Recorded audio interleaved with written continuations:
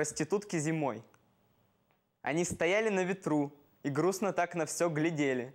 Ночной проспект, не точка ру, а холодно, на самом деле. Вдоль снега, света и стекла мы шли, и ты серьезно, с ноткой сочувствия произнесла, ну как они в одних колготках. Мне честно было пофиг, пар мешался на морозе с речью. Давай откроем лунопарк с блэкджеком и огромной печью.